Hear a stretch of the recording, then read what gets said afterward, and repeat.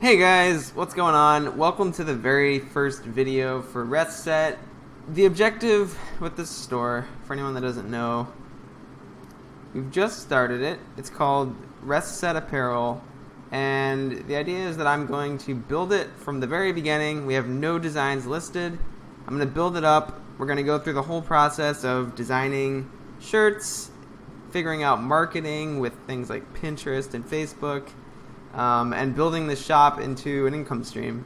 I'm not super good with Etsy. This is very much uh, a venture that's supposed to sort of push me to try a little bit harder with developing a niche shop and developing an income stream on Etsy. So I put out a poll on Instagram asking for some suggestions for designs. One of the things that came up that I thought was hilarious is Avocardio the brand is themed around fitness, so it makes sense to look for some sort of fitness themed design. And I love the idea of food, anthropomorphic food, kind of.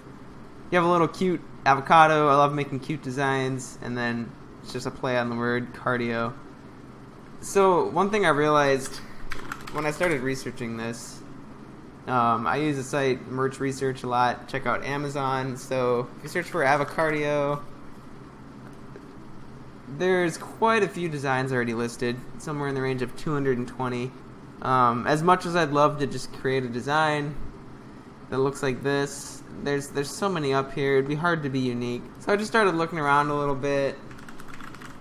If you search for avocardio on Etsy, one thing that people love avocados for is the keto diet, uh, because avocados are considered just by some to be kind of a superfood.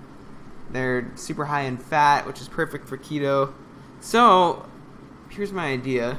We take avocardio and add a keto, like, basically just add the keto word to it. So it's like, I love keto and avocardio, or uh, we got to think of something creative. But put keto on the shirt, which is going to make that emotional connection with uh, any customer that's into keto. Avocardio is funny, it fits together. And then there's no competition. No one's doing this. Yeah, no one on merch either. So I think that's a good direction. First order of business is to figure out how we can create a cute avocado. The first thing I do is always just Google like cute avocado. Cute is sort of what I'm good at designing, so I tend to stick in the cute space. This level of complexity is a little bit beyond what I'm capable of. Avocardio. I love this sort of thing with the cute little dude and his arms in the air. Images into a pane over here as inspiration. So we'll take that one. Again, guy with his arms in the air. I love it. Like this is good. This is a slightly different shape, slightly different angle. That'll help with kind of being able to come up with something unique by looking at a few different sources of inspiration. I'm not a huge fan of the ones that are just facing forward. I, I, like the ones that are to the side and have the little bit of the side of the avocado showing. Yeah, let's, let's grab this. I think, honestly, this isn't a super complex thing to... Ooh, this is hilarious. Uh, so, the way I start with these always, I don't do any sort of sketching. It's pretty simple. I just jump into the pen tool. So, it looks like we want to create sort of like a, a pear-shaped thing here. I think we'll use Photoshop's perspective tool to put it at an angle. It's a little easier to just draw it straight on and then put it at an angle. So you'll see that in a second. So the way I would approach this is probably freehand. I think freehand just adds a little bit of extra hand touch niceness to it. So the way the pen tool works for anyone unfamiliar is you, you stab down a point, you make another point. If you just click, it creates a straight line.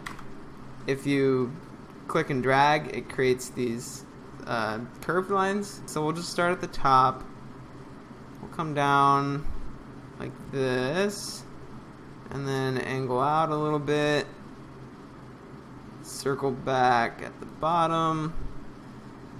We want to make sure that we're kind of keeping below this center point, just so it's somewhat symmetrical. And then what I'm doing here is just making sure that we get a nice big bulbous bottom. Yeah, we'll see how that works. I'm gonna try and come up at around the same point on the other side. start the other side of the pear shape here. Same for up here. We curve back in a little bit. And then finish up at the top. Like so. That looks pretty good. It's not wide enough. So I'm going to go ahead and drag these points out a little bit. Make it wider. Our avocado is nice and big. Something like that. With the pen tool, you get these little handles on each of the points to kind of guide how the curves are created.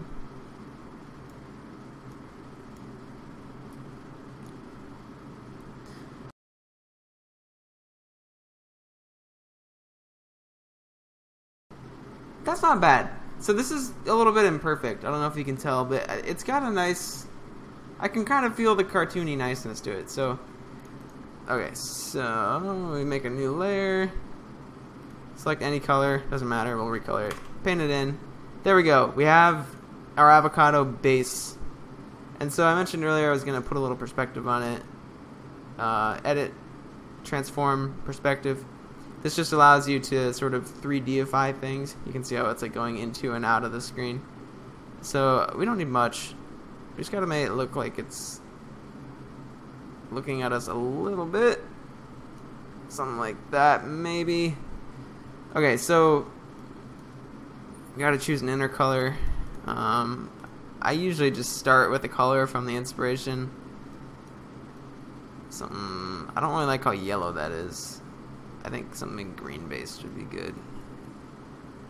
Maybe like that. Okay, so let's get this out of here. The next order of business is we need to put a little 3D effect on this. So we just want to draw the outside of the avocado. Um, it's pretty self-explanatory. We just trace along the outside edge here. Come back in at the bottom.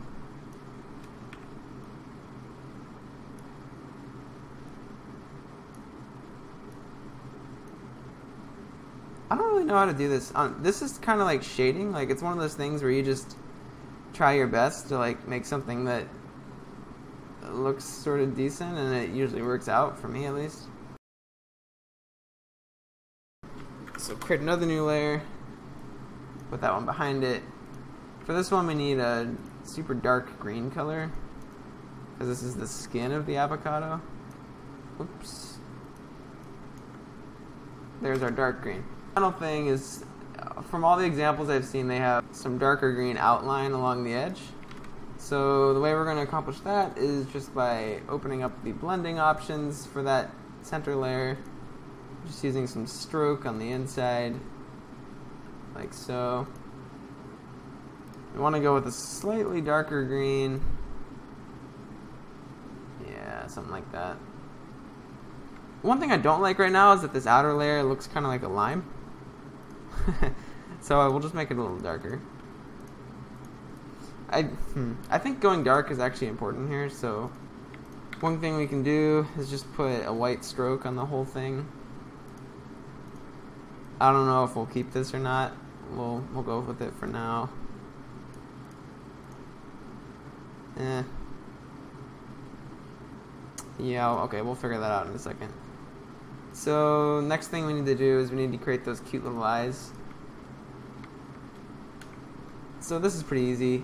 Uh, you can look up any Japanese uh, like kawaii art style to understand how to do this, but I've done it a couple times now. So you just create a black circle, fill it in. One of the hallmarks of the style and what makes it so cute is just a little white dot in the eye.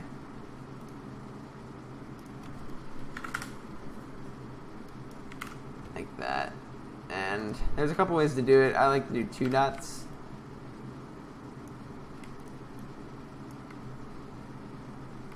So something like that. We'll group those layers together and call it eye. We'll just duplicate it there with two eyes. You can already see how cute this is coming out. I like it. For the mouth, we just need something curved. I find the easiest way to do this is just to use the path tool again. So we'll just create something like this. Doesn't need to be perfect. In fact, it's probably better if it's not perfect. Uh, so we'll just stroke this with a brush. We don't want it to be so soft. Something harder like that. Create a new layer for the mouth. Um, you can see how big this brush is. Like that would be far too big. So we'll just make it a good size, something like that. So now that we have our brush selected, we just right click on our path, stroke path, boom.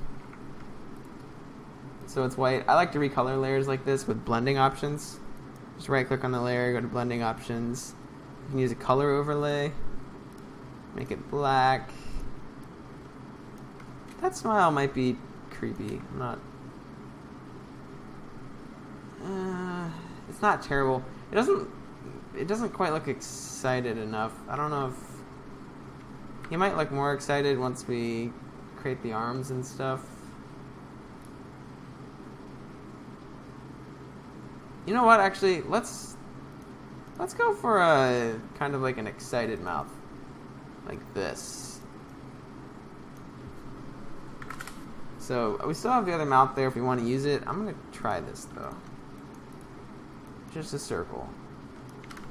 So it's kind of like guy going, woo! I think this could work out. oh, that's, that's okay. So next order of business is arms. This again is something like the more unique it is to you, the better. Don't really worry too much about what other people have done. Just create something cute. So I'll come up here with like a little arm like that. So there's arm number one. For number two, I think again I want this guy throwing his arms in the air. It just feels right for some reason. So we'll go like this. Create one more layer. Call it arm two. Stroke that path. Okay. I'm not sure white is the right color here. I think black could work great, except for the background issue. I saw some designs did the darker green skin. I think that actually makes a lot of sense because the arms are coming out of the avocado. I don't like how it makes the arm kind of blend in with the background here of the shell. Like I like before, you could see the arm coming in. But we'll go with this for now. I'm going to move the arm layers to the back so they're behind the avocado. We'll make that one green as well.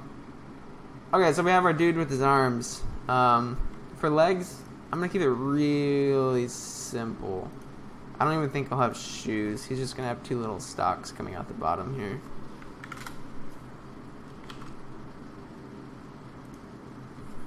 So we need a leg layer. We'll call it leg one. Whoops.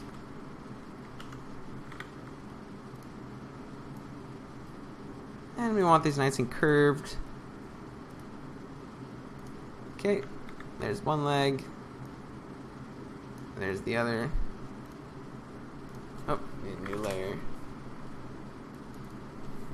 Leg two. I put everything on its own layer as much as I can because you never know you're gonna need to modify a layer later. And since I'm not, since I'm working in raster and not vector, like all this stuff is very permanent. Oops. Okay, so we'll go ahead and color those the color of the avocado skin again. Like so. Um, hmm. I don't like how these look that much. So we'll just, I think maybe, okay, I think they might be too far apart.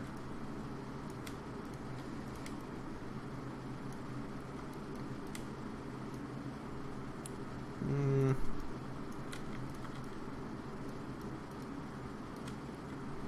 Actually, you know what I think is missing from these is maybe knees. Yeah, let's restart. So I think it'd be good if they had a distinctive bend like a knee would. Might help sell the illusion that this guy's jumping as well. So we'll put in a little upper leg there, and then a lower leg. Let's see how that looks.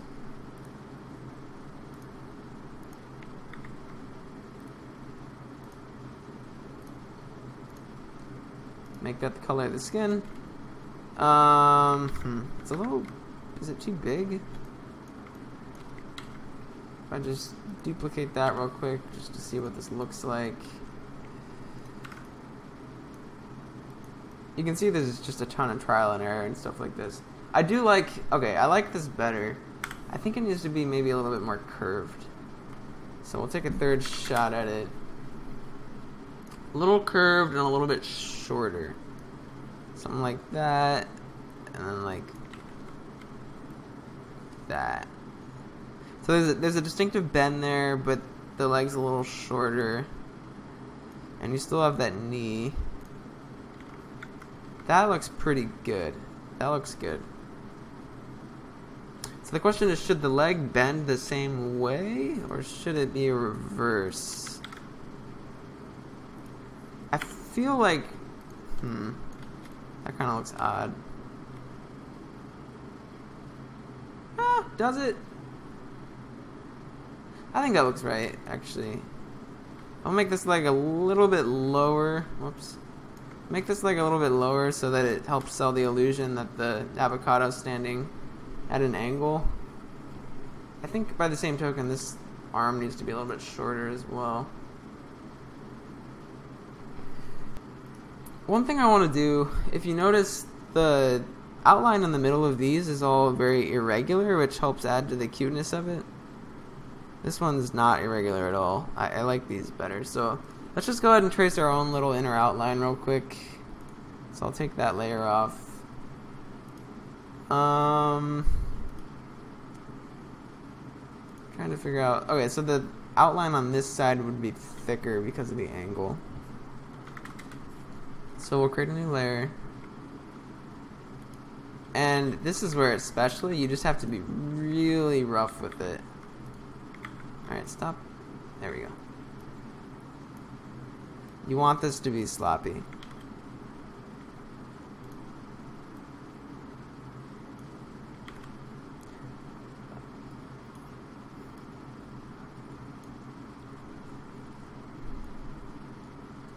And you don't have to worry about getting the thickness exactly right. That's something that can be adjusted.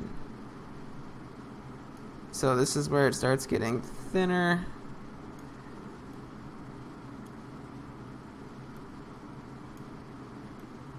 Alright, just like that.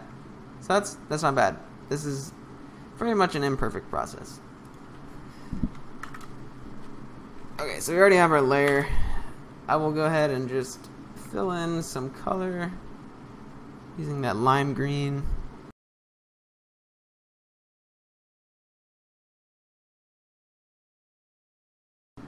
Um, one thing that sticks out to me right now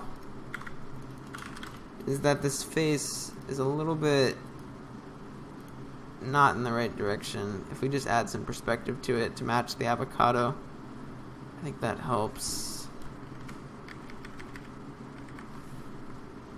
Another thing we can do is with the mouth, just to add some extra artistic flares, we can come in here with a little shadow, I don't know what you'd call this, shadow highlight thing.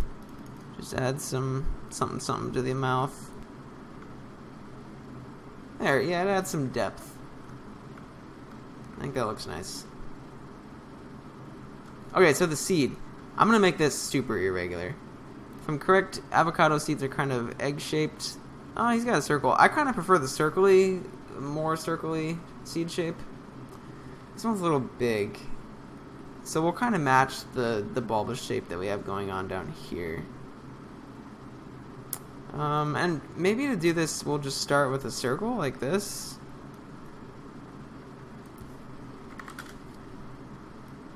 And then what we'll do is we'll just distort this. I, think there's multiple ways to do this. I just use the transform tool, turn on the grid, and then just play around with it a little bit. My computer's being a little bit laggy right now for some reason.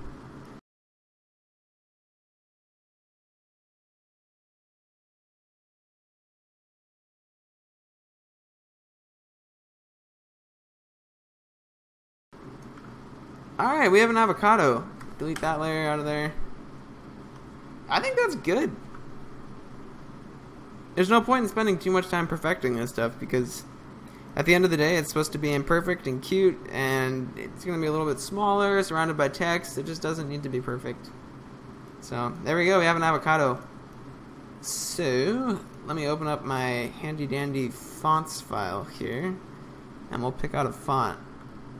So for something like this, I think we definitely want something cute and fluffy and fun. So this Heilig font is interesting. Glorious is a great font. I love this one. Let's try that out. Oops. So avocado. This font definitely has a cuteness to it. One thing I also like about it is it the rigidity of it kind of feels like celery to me. That that's just something that pops into my head, which fits with the theme of health and uh, keto and whatnot. So I think this is a great font choice, and we can really keep it pretty simple. Like that's just a nice simple shirt. We probably don't want a white font. It's a little bit jarring next to the avocado. I don't like how the the green yellow color here matches so well. That's not bad. I think maybe just a, a lighter green.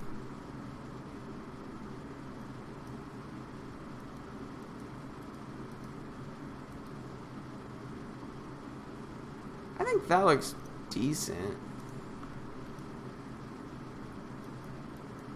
Red is a hard color to do on the darker backgrounds because it uh you, kind of have to go pink. If you just go straight red, it the it's a really jarring contrast.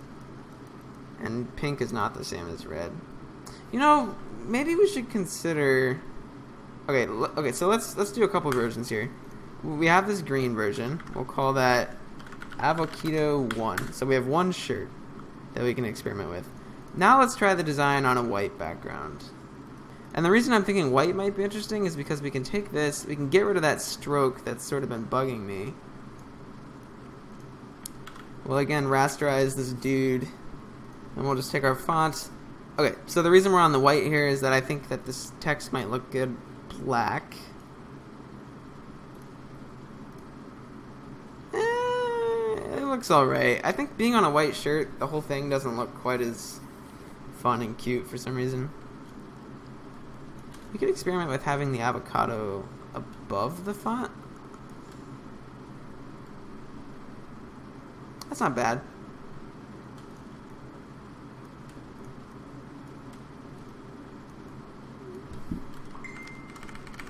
That's not too bad.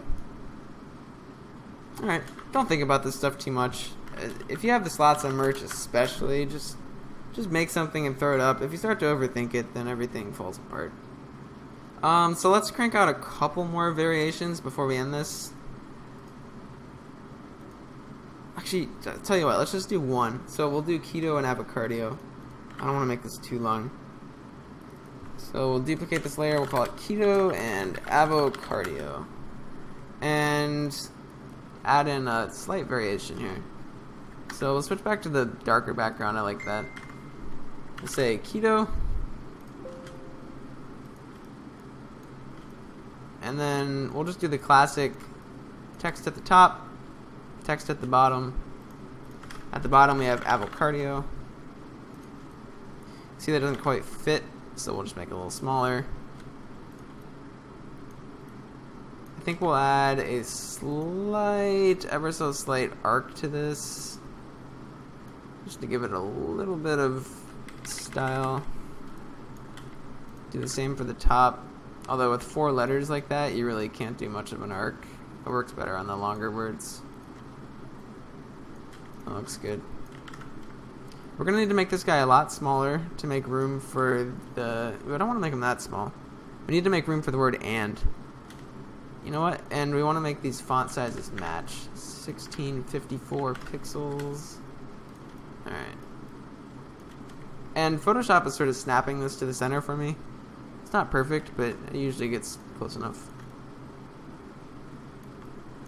Okay, we'll just duplicate this. So I'm going to switch over to the variation of Glorious called script. And then we'll just put the word and in there.